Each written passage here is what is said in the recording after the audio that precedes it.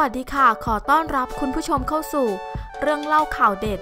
ก้อยรัชวินถึงกับปล่อยโฮโผเข้ากอดพี่ตูน หลังจบวิ่งโตเกียวมาราธอน เจออุปสรรคโหดร้ายที่สุดในชีวิต ถึงกับต้องเอ่ยประโยคว่า ชีวิตบางครั้งมันก็ไม่ง่าย หลังจบการวิ่งโตเกียวมาราธอน 2019 ของนางเอกสาวก้อยรัชวินวงวิริยะ ที่ในปีนี้เจ้าตัวได้มีโอกาสไปวิ่งที่ญี่ปุ่นในรายการใหญ่ อย่างโตเกียวมาราธอน 2019 ซึ่งระหว่างทางนั้นเจ้าตัวต้องเจอกับอุปสรรค ทั้งความหนาวและสายฝนที่โปรยปลายลงมา เรียกว่าหากไม่อดทนหรือร่างกายไม่พร้อมจริง ๆ คงถอดใจไปแล้ว แต่บอกเลยว่าก้อยรัชวิน เธอคือนักสู้ที่แท้จริง ฝันแล้วต้องไปให้ถึง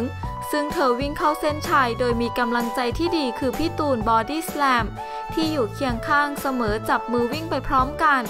ทั้งนี้ก้อยได้เผยความรู้สึก กับการวิ่งในรายการโตเกียวมาราธอนว่า อุปสรรคคืออากาศที่โหดร้ายแด่มาราธอนที่โหดร้ายที่สุดในชีวิต ในวันที่ฟ้าฝนไม่เป็นอย่างใจ ร่างกายไม่ไปตามใจสั่ง ขอบพระคุณทุกแรงใจแรงเชียร์ที่ส่งมาให้กัน ตั้งสติได้แล้วจะมาเล่าให้ฟังยาวๆนะคะ มาราธอนที่ 3 ระยะทาง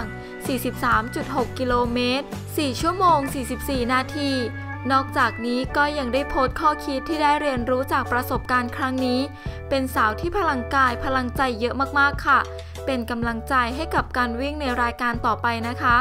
ขอขอบคุณข้อมูลดีๆ จากสนุก .com อย่าลืมกดติดตาม พร้อมทั้งกดรูปกระดิ่ง เพื่อแจ้งเตือนเรื่องใหม่ๆ จะได้ไม่พลาดรายการเรื่องเล่าข่าวเด็ด ขอบคุณที่รับชม แล้วเจอกันใหม่ค่ะ